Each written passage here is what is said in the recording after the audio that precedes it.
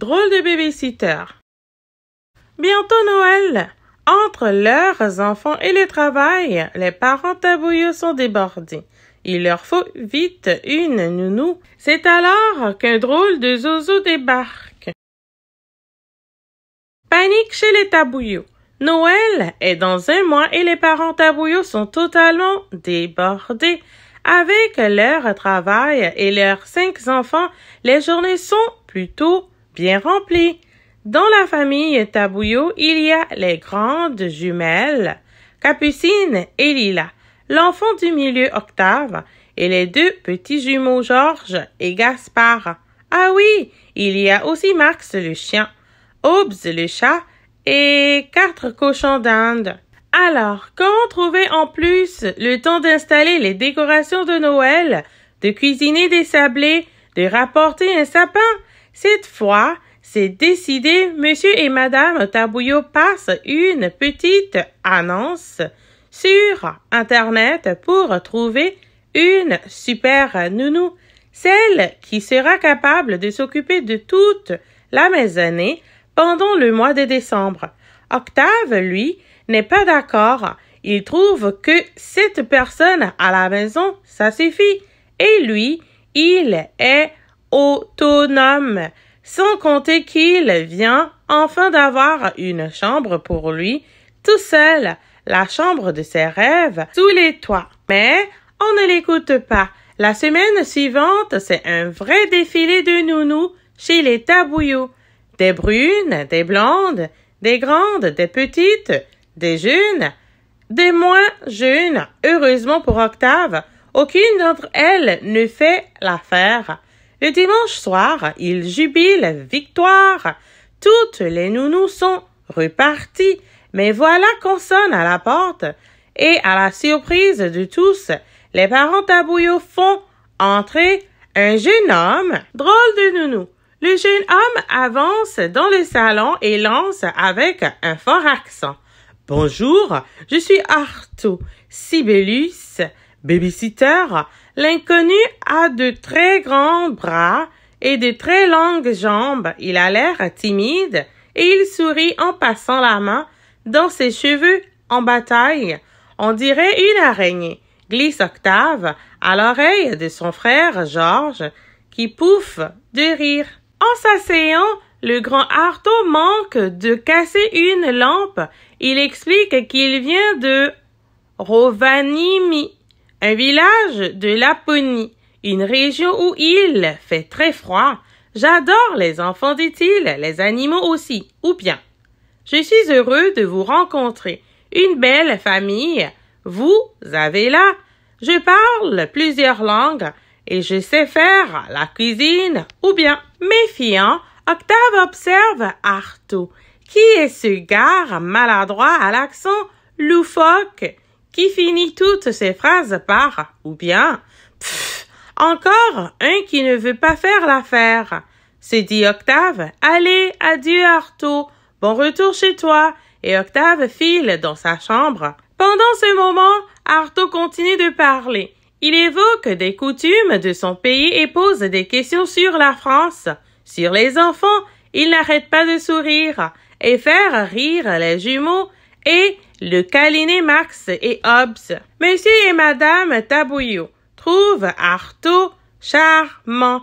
Va pour Artaud, chuchote maman à papa. Topez là, Artaud, dit papa au jeune homme. Les jumelles battent les mains. Elles trouvent Artaud trop beau. Les jumeaux le trouvent rigolo. Max jappe de joie et oups, ronronne. Dans sa chambre où il s'est réfugié, Octave entend tout. Il n'en revient pas. Lui qui pensait être débarrassé d'Artaud. Ils ont embauché Artaud. L'esquimau, Barjo, grommelle-t-il. Je suis sûr qu'il ne sait même pas jouer au foot. C'est nul. Au même moment, Madame Tabouillot arrive avec Artaud pour que ce dernier s'installe dans la chambre d'Octave. Octave, merci, lui dit Artaud, je suis très content que tu me laisses la chambre, ou bien. Eh bien, moi, je ne suis pas très content, siffle Octave entre ses dents. Je suis obligée de retourner dans mon ancienne chambre de bébé avec les jumeaux. Et tu ne touches pas à mes affaires. Merci. Ah, pas de souci, ou bien, lui répond Arto en souriant. Arto superstar, trop bizarre. Les tout premiers jours, Arto range et décore la maison en un tour de main. Il rapporte aussi un sapin énorme. Le sapin n'était pas cher du tout ou bien? Se réjouit-il? J'ai fait un grand sourire à la vendeuse et hop. Capucine et Lila s'amusent. Ça sent bon le pain dans toute la maison. On peut grimper dessus? Demande Georges et Gaspard. Toute la famille s'extasie. Octave est le seul à s'étonner. Il n'existe aucun sapin de cette taille chez les commerçants des environs. Vous croyez qu'Arto est allé abattre un sapin? Ses parents soupirent. Tu es trop soupçonneux, Octave. Aide plutôt Arto à préparer un gâteau pour le dîner. Il ne manquait plus que cela, pense Octave. Déjà que je suis obligée de prêter ma nouvelle chambre à ces turluberlus, voilà maintenant que je dois aussi l'aider. Vous allez déguster un gâteau de mon pays, annonce Arto. Tu veux faire la pâte, Octave, ou bien? En levant les yeux au ciel, Octave commence à mélanger les ingrédients. Pendant ce temps, Arto lui demande Comme cadeau, qu'espères-tu avoir? Quel est ton jeu préféré ou bien? Octave lui répond Je sais pas, du bout des lèvres, en pensant Mais de quoi il se mêle? Il est collant cet Arto. À cinq heures pétantes, la montre connectée d'Arto avec des boutons partout sonne. D'un bond, il se rue dans sa chambre. Pas de loup Octave le suit à l'étage. Il distingue Arto devant son ordinateur en train de baragouiner avec un monsieur à la grosse voix. Avant d'être repéré, Octave redescend tout de suite à la cuisine où ses frères prennent leur goûter. Arto les rejoint cinq minutes plus tard, puis questionne les jumeaux sur leur circuit de train. Il se mêle vraiment de tout, pense Octave. Il en profite pour remonter discrètement dans son ancienne chambre afin de regarder de plus près les affaires d'Arto. Sur l'ordinateur, une petite vidéo avec un lutin souriant défile. Étrange, étrange, murmure Octave. Il n'a pas le temps d'en apprendre davantage, car sa sœur Capucine le surprend. Que fais-tu, Octave? Oh! Mais tu fouilles dans les affaires d'Arto. N'importe quoi, proteste Octave, très gêné. Je cherche juste un truc, dit-il, en redescendant avec elle. Dans la cuisine, Octave retrouve Georges, Gaspard et Lila, toujours en grande conversation avec Arto. Ces derniers leur posent plein de questions sur la liste qu'ils ont envoyée au Père Noël. Et toi, Gaspard, tu as demandé un cheval? Tu aimerais qu'il fasse des sauts bien. Et toi, Georges, un robot tout doux qui garde les secrets. Et toi, Lila, une mallette de petite chimiste? Oh oui, quelle bonne idée! Approuve-t-il en cœur? Gna gna gna, c'est mon Octave. C'est pas croyable qu'il devienne bête quand il est là à Arthur le zozo. Au des jours, Octave découvre de drôles de choses. Le lundi suivant, il surprend Arthur en train de parler à sa montre. Mercredi, sous un pull d'Arto, Octave trouve une énorme boule de neige qui change de couleur quand on la prend dans la main. Et pas plus tard que ce matin, il le voit qui essaye d'éteindre un bouton rouge qui clignote sur sa ceinture tout en répétant très vite Pasca Pasca. Et tous les jours à 5 heures, Arto se précipite vers son ordinateur. Tout cela est bien suspect. De plus en plus intrigué, Octave invente chaque jour de nouveaux prétextes pour fouiner dans la chambre d'Arto hélas, sans jamais parvenir à percer ces mystères. La famille, quant à elle, ne remarque rien des bizarreries d'Arto. Elle est totalement sous son charme. Papa a enfin quelqu'un avec qui bricoler. Maman ne jure plus que par les motifs et les plats lapons. Les jumelles Capucine et Lila ont le cœur qui bat dès qu'elles aperçoivent Artaud. Georges et Gaspard, eux, sont fascinés par ces tours de magie. Artaud par-ci, Artaud par-là, soupire Octave. Même toi, mon chien, et toi, mon chat, vous ne les quittez plus. Comment dit-on en lapon? Artaud est trop farfelu. L'énigme, Artaud.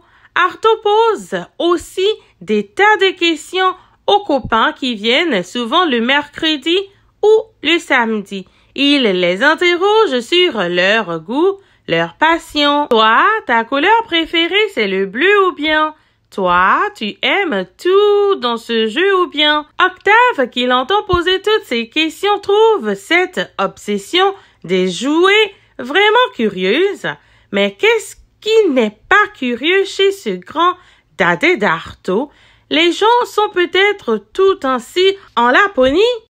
Ce qui étonne aussi Octave, c'est qu'Artaud connaisse autant de jeux. Il sait jouer à tout. Échecs, dames, jeux de cartes, jeux vidéo, jeux de stratégie, jeux d'extérieur. C'est pas croyable. Vous passez votre temps à jouer en Laponie, lui dit Octave. Artaud lui explique, dans mon pays, de mi-novembre à mi-janvier, il y a la nuit polaire. Le soleil ne se lève jamais.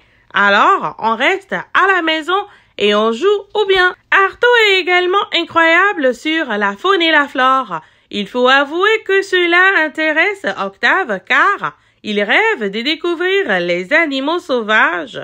Ah, les gloutons, les picargues, les lagopèdes, les ours, les lynx, les loups, le lièvre et le renard arctique.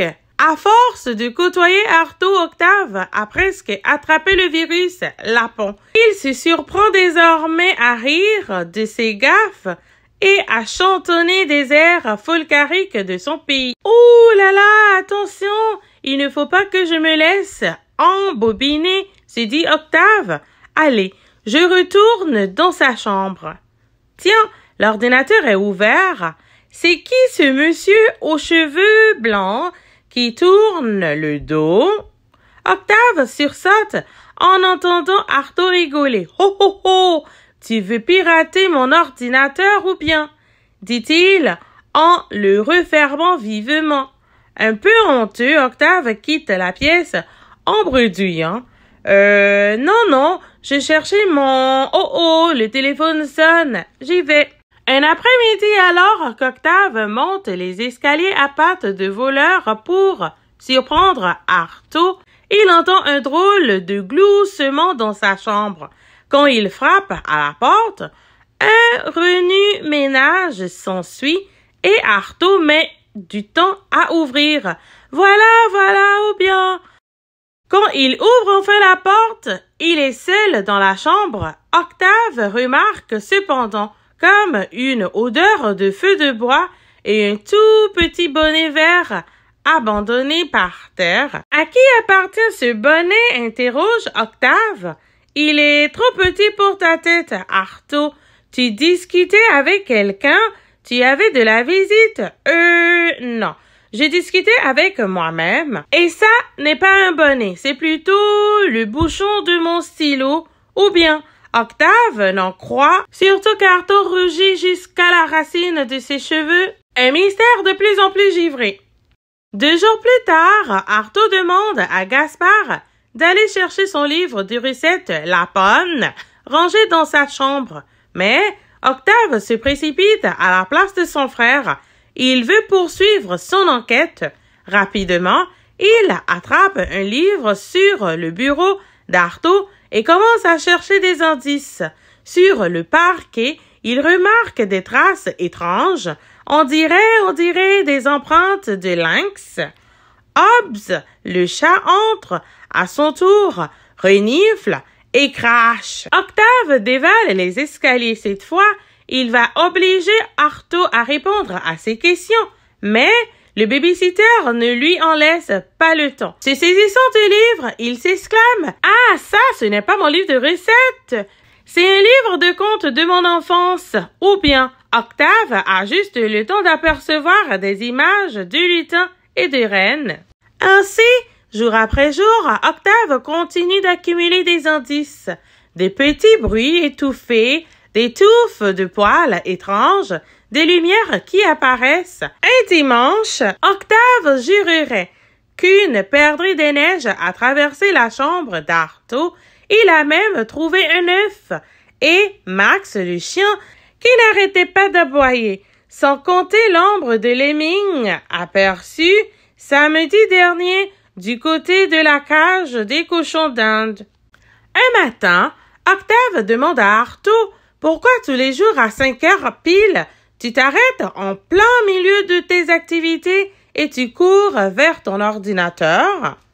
Je donne des nouvelles à ma famille, explique Arto en bredouillant. J'envoie des photos de vous, des informations sur la culture française ou bien mes parents trouvent votre nourriture très étrange, surtout les escargots et les roqueforts, ou bien, enfin un soir, Octave a l'idée de faire des recherches sur le village natal d'Arto, Rovaniemi, et que découvre-t-il? Qu'il se pourrait bien que ce village soit celui du Père Noël. Une semaine avant le réveillon, alors qu'Octave rentre plus tôt de l'école, il trouve Arto sur son ordinateur en pleine conversation avec renne. Pénaud, Arto devient rouge fluo. Il barbouille zut de zut ou bien n'arrête-t-il pas de répéter? Chez nous, on dit El Kari. Octave exulte. Je le savais, je le savais, je le savais. Tu n'es pas comme nous, mais tu es quoi?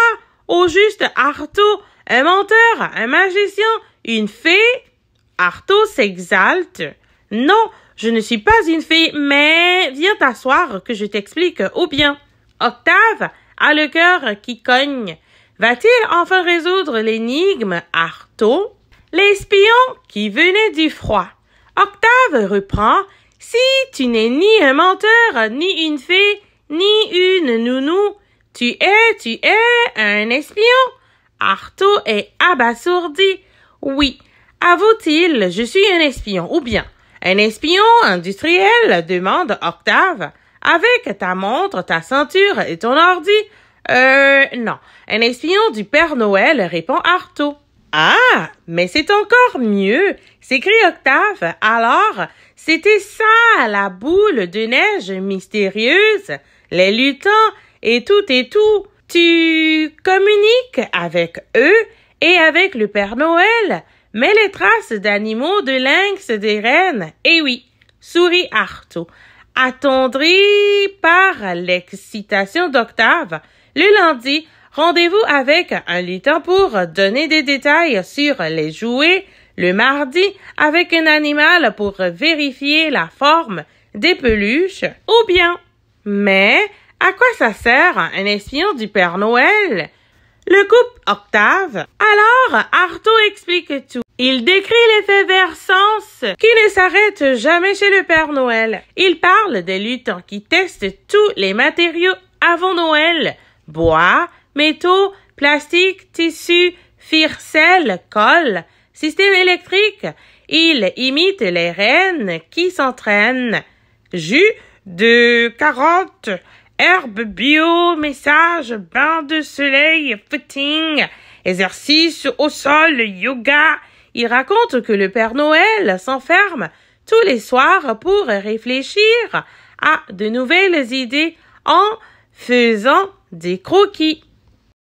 Enfin, il parle des réunions du Père Noël avec ses espions et ça, précise Artaud, c'est ultra secret. Pour devenir espion, on vient de toute la Laponie et on passe plein de tests. Ensuite, on est envoyé comme nounou dans diverses familles sur toute la planète. Là, chaque espion doit enquêter sur ce que les enfants aiment le plus et attendent à Noël. Puis, les idées sont partagées, des projets sont retenus et c'est parti. Tout ça afin que le Père Noël invente de nouveaux jeux et de nouveaux jouets encore plus magiques ou bien. Et toi alors, Arto, questionne Octave, tu as été choisi spécialement. Euh, moi, je suis un apprenti espion. C'est ma première mission ou bien. Et nous, l'interrompt Octave, les tabouillots, on est la famille parfaite pour une enquête, non? Cinq enfants, des filles et des garçons d'âge différents, des animaux, plein de copains, beaucoup de vie, beaucoup d'idées. Je me trompe? Tu es très malin ou bien? dit Arthur en souriant et en lui appuyant sur le bout du nez. Regarde. Et il lui dévoile le reste de sa panoplie d'espions. Téléphone portable, jumelles, lunettes, vidéo, stylo enregistreur. Arthur ajoute Octave, mon diplôme est en jeu. Je dois garder le secret. Sinon, fini Arto, je ne serai jamais un vrai espion ou bien. Octave jure de ne jamais jamais rien révéler à personne ou seulement à Max et Hobbs. Il propose à Arto. Je vais même t'aider. On va récolter tout plein d'informations auprès de mes amis, des amis de mes amis, des frères et sœurs de mes amis. Après tous ces jours passés à enquêter sur toi, ce sera trop facile. Plus tard, j'aimerais bien être détective, tu sais. Tiens, pour ce Noël, je commande la panoplie complète et un livre avec des tas d'enquêtes à résoudre. Finalement, Arto, je crois qu'on est amis, non? Comme j'ai hâte d'être à Noël et de déballer mes cadeaux avec toi. Arto baisse la tête et lui confie Hélas, j'ai rempli ma mission. Je dois retourner en Laponie dans deux jours ou bien.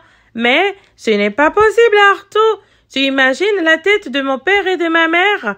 Si tu t'en vas maintenant? Et les jumelles? Et les jumeaux? Tu y as pensé aux jumeaux? Et Noël Lapin, Octave, en a les larmes aux yeux. Arthur réfléchit à haute voix. Je vais écrire un message au Père Noël et au lutin. Ils ont reçu mes informations de toute façon. Je peux passer Noël ou bien Octave saute de joie. Le 24 décembre au soir, le sapin brille de mille feux. La maison étincelle, les bulles éclatent dans les verres. La musique traditionnelle, la panne, résonne. Arto s'est surpassé en cuisine, tout le monde chante. Faux et ses poumons, vite les lapins. Vive Noël, vive Arto. Bravo notre Zizoto, notre Dynamo, notre Mécano, notre Roméo bien. Au moment d'ouvrir les cadeaux, Octave et ses frères et sœurs restent sans voix. Ils reçoivent exactement les cadeaux dont ils ont rêvé toute l'année. Oh, regarde mon cheval qui saute, et mon robot, et ma mallette de petit chimiste. Et de toutes les maisons du quartier montent des cris de joie. Arto et Octave se font alors un gros clin d'œil complice et un check. L'air de dire entre espions, on se reprend